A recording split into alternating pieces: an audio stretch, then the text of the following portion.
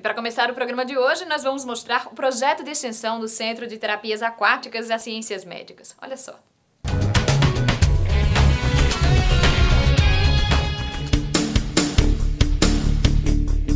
O Centro de Terapias Aquáticas funciona no Campus 1 das Ciências Médicas e faz parte do projeto de responsabilidade social da faculdade. Nossa clínica escola está direcionada para atender as pessoas né, que não tenham condições de ter um plano de saúde ou de pagar um atendimento e a gente faz o tratamento gratuito para as crianças. A fisioterapia pediátrica atende sem nenhum custo pacientes entre 1 e 16 anos. O tratamento, que é realizado na piscina terapêutica, proporciona vários benefícios. A gente trata tanto os problemas neurológicos como os problemas ortopédicos voltados para as crianças.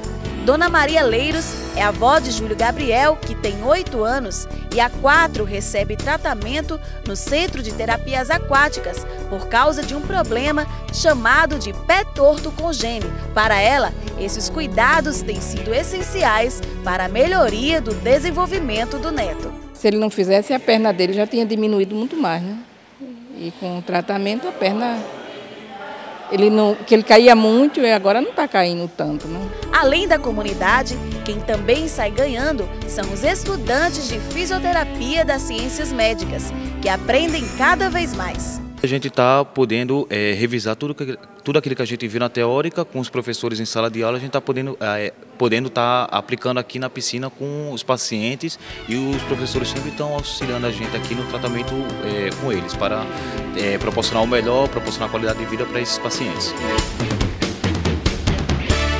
E para mais informações sobre o Centro de Terapias Aquáticas, é só ligar para a Clínica Escola de Fisioterapia no 3044 0347.